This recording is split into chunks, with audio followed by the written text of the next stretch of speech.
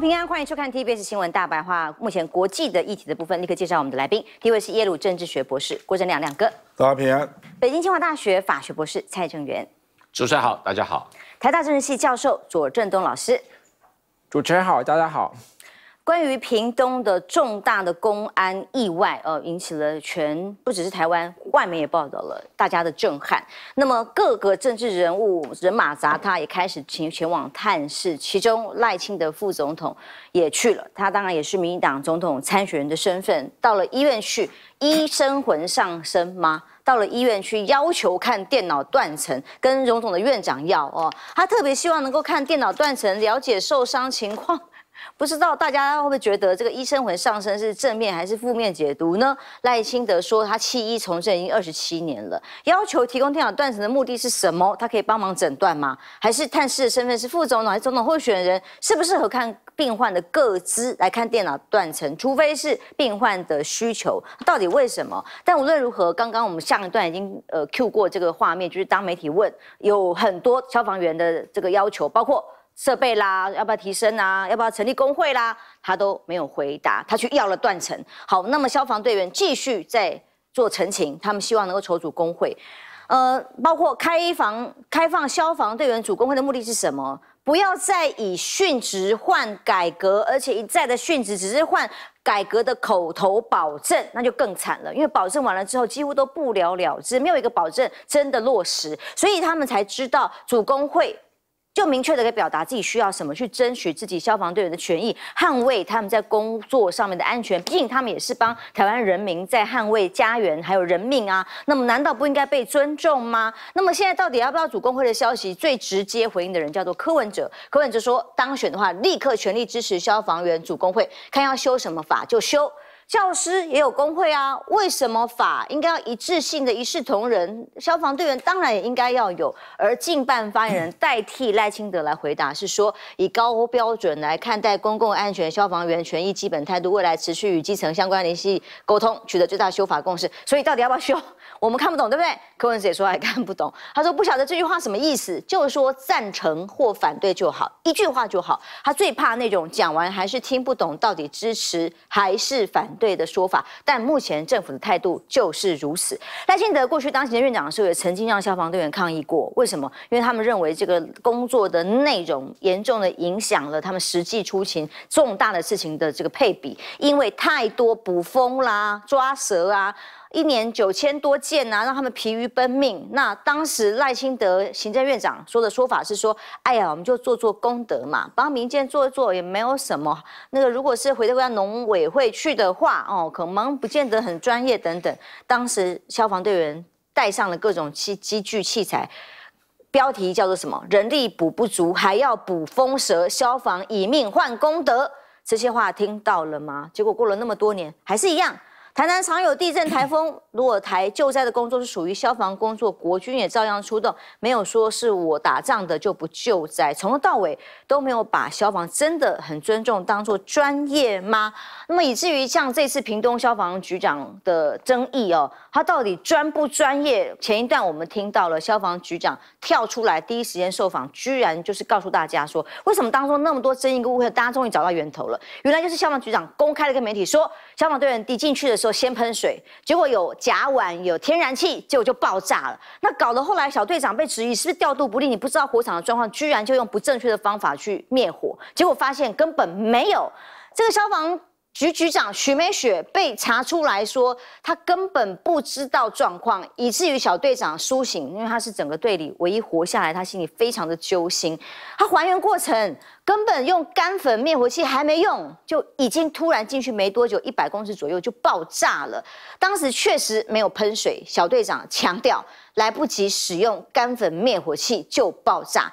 这个时候，消防局长才改口啦。哦，没有啦，没有啦，口误啦。哦，是一开始说水涉水是口误，状况混乱呐。我是被厂商误导，外界要我请辞的话，我会认真思考，不会恋战。周春敏还说，哦，救人找人优先呐，后面的责任检讨不回避。那现在先检讨厂商，先还会检讨，至少这个厂商还有民民众受害者的权益有没有被保障呢？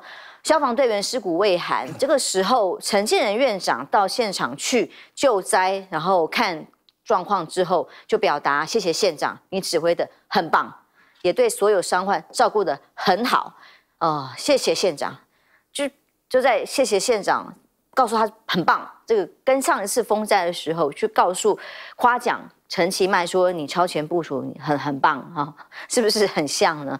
那网友网友当然就讨论很多，就会看到这个画面之后，觉得情何以堪？这个是悲剧，不是政绩。这种嘴脸会让人觉得冷血哦。而执政七年来还在当在野吗？洪生汉提的三个疑问说：“哎呀，到底这个大火发生什么事了？你还在监督？那你可不可以直接由民党的政府告诉我们，到底发生了什么事？有没有在过程当中哦，对于厂房做好把关，还有对消防队员的安全做好资讯的提供？这个才是最重要。而现在还在对于所有的消防队员要求没有办法正面回答吗？亮哥。”其实消防主工会啊，就跟警察是不是可以主工会，这同类的问题啦。我们警察也很多啊，比如说，我就知道有一些警察的防弹背心是自己买的，因为他是刑事警察，他要抓歹徒的时候，发现歹徒设备比他好，哦，歹徒的防弹背心比他薄，那枪的射程也比他远，那枪也比他贵啊，那甚至有时候还开跑车啊，你还追不到他。也是有类似这样的一个设备上的落差啦，那造成他执勤的时候可能会有风险，那这个是同类的问题了。市长，我坦白讲啊，你消防主工会那预算就会增加吗？你可能最多大概就是说，啊，有人受伤啊，那权益上啊，消防局要做更好的照顾，这个比较容易争取了。那可是整体预算，因为我刚才已经跟你讲了嘛，台北市政府。算是最有钱的单位嘛，他一年的收收那个预算支出大概是一千七百亿啊，那消防局的预算只有三十五亿啊，这这个就是现实嘛啊，所以我觉得这个可能总统级别的要讲讲这个消防的证件啊，我觉得要讲大一点啊，就说我们消防的编制，你四年内你要你要完成多少了，你要增加多少编制嘛，比如说现在缺额。有人说是一万五千人呢，那你缺额你能补多少啊？那你就要每年都要增加预算啊，这个是你能够做的嘛。然后消防设备你就列个表嘛，什么东西要加买嘛，那大概四年要多花多少钱嘛？啊太换的，你这个要讲出来嘛，对不对？哎，人家已经讲了嘛，那前镇渔港一花，这不几十亿？八十亿，八十亿就弄了一个前镇渔港啊，那对远洋。渔业有很大的帮助，这我也同意啊。我是前我想我是住在高雄的人哦，哎，八十亿哎，那消防单位你给多少钱嘛？是救命的单位。我跟你讲啊，我觉得政府为什么觉得对这个东西就不是很积极了啊？因为这个就是属于公务的叫做基层人员嘛，啊，不会是正机？不是，因为他们没有办法像老百姓一样上街头嘛，来对你做抗议嘛，那你会感受到压力嘛。所以赖清德才会把捕方抓蛇都丢给消防局，认为是合理的啊。事实上，捕风跟抓蛇都是专业。上次狒狒事件就知道。事实上，你如果到街上看到一条恶犬，或者是你也搞不清楚它是不是狂犬啊。坦白讲，一般警察也不一定能抓，它要有特殊的设备啊啊。所以我的意思是说，比如说抓蛇，这个在美国就是交给民间公司啊。嗯，或者是农委会去督导。然后你的警察单位就是跟民间公司签约嘛，对，也不一定是警察啊，也可能是农业单位或者动保单位。我们是林务局所管。对嘛？那林务局就要去跟这样的公司签约嘛，因为真的有这种公司啦啊，我看过有人是专门在抓蛇的，这个是真的啦啊。那你都丢给消防，然后你也不认为这是问题，还说这个是做功德啊，就表示。你基本上对这个业务就是你没有从国际的比较去了解台湾当消防员的特殊的辛苦嘛，嗯，所以为什么会有这么多人出来抗议嘛，嗯，啊，就是就乱七八糟的事就丢给你啊，是，我我跟你讲，有一些县市啊，如果他家的猫掉了，还就请你帮他找了，嗯，啊，所以所以我的意思说，如果这样这样的情况之下啊。那也难怪了，人家就会觉得啊，每次都是要出大事啊，那大家才会来反省啊。可可是，反省，坦白说到现在，然后一直没有醒我没有看到具体的提案啊。对，比如说立委有没有什么提案，或者说，哎，那个林佑昌内政部长有出来讲话吗？警政我不是消消防署的署长有出来讲话吗？啊，或者比如说地方的单位，那周春米他是县长嘛，那他有说他如果要提高那个屏东县是一比一千三百二嘛，嗯，一千三百二十个县民只有一个消防员了，嗯，那你要不要改进这个情况？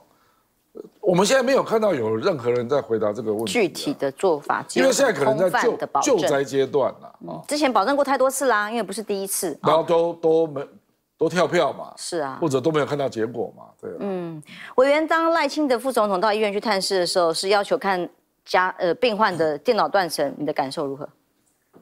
赖清德可能想演戏，只不过是演戏不成功，把事情给搞砸了。虽然他是医师，他已经二十几年没有职业了。一个没有职业、没有登记的，当然就不能够继续扮演医师的角色。不能扮演医师的角色，那请问一下，你跑到龙总医院屏东分院，然后去叫院长说我要看电脑断层，你是什么意思？你要表演什么？你要表演说你要指导他如何治病，是不是？一个二十七年没有看病的。你敢让他看病吗？如果有个医师挂牌说我已经二十七年没有执业了，我今天开始执业，请大家来让我开刀，我看病患都跑光了吧？可是他想要表演有点过度。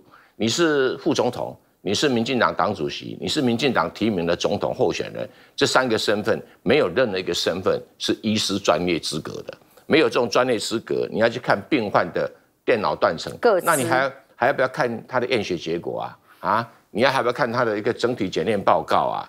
那你要指导什么？平龙的院长哈，来如何治疗病患？你会不会把自己抬得太高了？不会，因为你官比较大，比你的医疗技术水平啊就会比较高哈。哎，我是觉得赖清德这个演的有点过度了哈。他们民进党人好像通常搞不清楚自己哈的角色、自己的职权的分野。比如说，屏东县的消防局长徐美雪才被网络上踢爆哦。虽然他是警察大学毕业，不过他一直在新闻局里面哦负责宣传工作。那新闻局弄一弄以后，就转到消防局里面去当秘书科员，都是内勤的工作啊，没有一个像派出去就直接像各县市所要求了啊，像这个一定要有实际上去执行消防工作的一个履履历跟训练。那外面就传言，他唯一的资历就是跟某人是闺蜜啊。哦，哎，没错啦。闺蜜啦，哦，或者是什么，呃，呃，什么，呃，少什么谁的男孩啦，谁的女孩啦，都能够升官发财。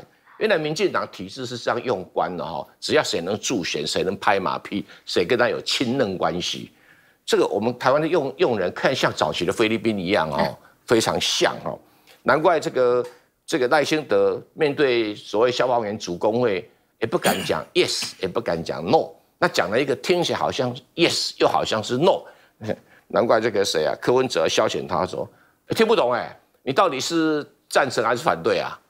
这消防员要不能不能主工会就很简单嘛，同意不同意啊？哎，老师可以主工会，为什么消防员不能主工会？那你反对，你要讲出反对理由，你又不敢讲反对，那你要赞成，你要讲话赞成的理由，你又不敢讲赞成，这么糊弄个老半天。哎呀，这个取得最大修法公式，到底你修法同意不同意？没有答案，没有答案。那赖清德说要抓蛇做功德，也没有错啦，抓蛇、抓猫、抓狗的做功德。那为什么流浪国就归什么动保处？你给我个理由啊，对不对？流浪国归动保啊，流浪蛇呢？啊，流浪蜜蜂呢？对不对？他们都流浪了，不是吗？所以我是觉得，你总该讲个道理吧，有个专业吧，对不对？还是说消防员太闲了，没事干，所以让他做点功德，去抓蛇、抓蜜蜂？那你要跟消防员解释清楚，你们真的很闲是不是？那如果不是的话，消防员说我们每天忙得不得了啊！啊，对，所以讲清楚嘛。那你不然比什么军队啊？军队救灾，军队救灾是在重大灾难的时候明定在法律条文里面，然后这个还要经过总统批准。哎，不是民众打个电话你就来救灾，你今天打电话到军队里面说啊，对不起，陆军部队你来给我救灾，可行吗？不是这样的运作的嘛。可现在。消防局，你到底要怎么去规范？难怪消防员会抗议嘛。那这个抗议啊，也爆也暴露出很多大官们更不懂得消防专业。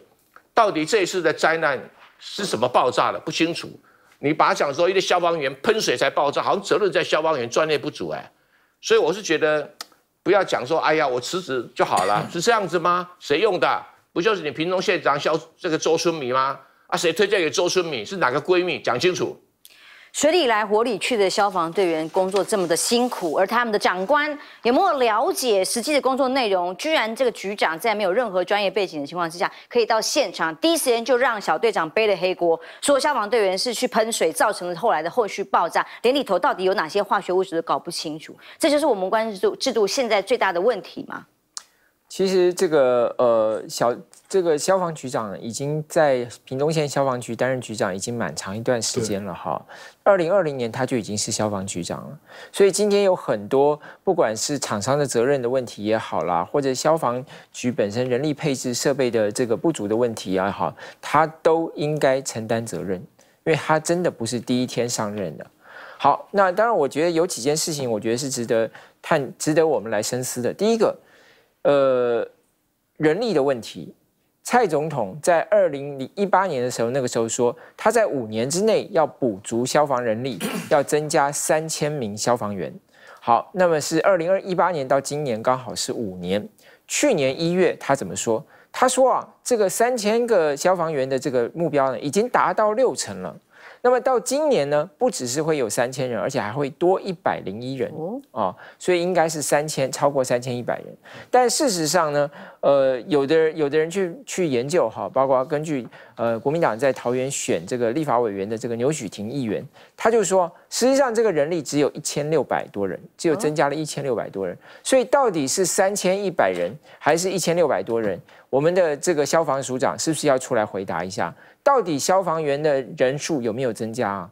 我觉得这个是非常清楚的一件事情嘛。当然，很多人就说消防员的增加其实呃有很多其他的一些障碍，包括说这个呃报考的大家报考的意愿不足啦，或者是其他的一些。呃，这个呃，招募的人力就是预算不足的这些问题，那可以用配套来解决，鼓励啊。但是这个就是你蔡总统已经承诺的事情嘛。是三千人如果不够，你当初设定的目标就有问题。如果你说的没有达到，就比方你去年就说谎嘛，是不是？一月如果你三千人乘以六成，最起码去年就应该达到一千八了，怎么会只有一千六呢？到底是哪一个数字才是对的？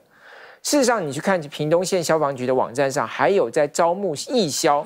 说为了要扩大招募义消，第一个年龄下降到十八岁，第二外国人都可以来报，来都可以来报名，第三个连同所谓的你的这个塑形问题，就是你犯罪记录的问题，十年内你没有你没有犯罪记录都可以来报报考，所以这个问题其实都是。呃，看到他消防人力的这个不足非常严重，那你作为消防局长，是不是应该要承担这个责任呢？你没有采取足够的办法，没有去要足够的预算，当然还有洪生汉讲这个问题，我觉得非常好。他说，呃，第一个，你这个厂商有没有把这些资料提供给这个消防消防队？然后你有没有派专人去协助？然后你的这个化学物品有没有上所谓的环环境部的化学云去登录？还有就是，你有没有把这些资料全部给移交给当时的，交给当时的这个消防队员？可是事实上，你当时才看到这些图纸，其实已经太慢了。有时候真的是需要新科技，包括你的这种整个呃资呃电电脑的这种绘图、电脑的指认，甚至是 科呃这个所谓无人的这种呃无人机或者无人设备的这种灭灭火，我觉得这些都需要。可是话又说回来了，当你讲到这些问题的时候，其实这些都涉及到消防局有没有去督导这个厂商的问题，或者是当地的地地方政府也好，中央政府有没有去督导这个厂商的问题？那谁是中央政府？民进党。谁是地方政府？民进党。你这个问题其实应该要去问民进党的官员。所以真的不是做功德的问题。我觉得赖清德把很多事情都做功德，他连长照都说是做功德，都是做善事。对不起，政府做这些事情都不是善事的问题，这是你政府的责任的问题。我觉得这个我们一定要搞清楚。拿人民的薪水办事，治安跟公安必须要严正的来面对，有没有办法解决问题呢？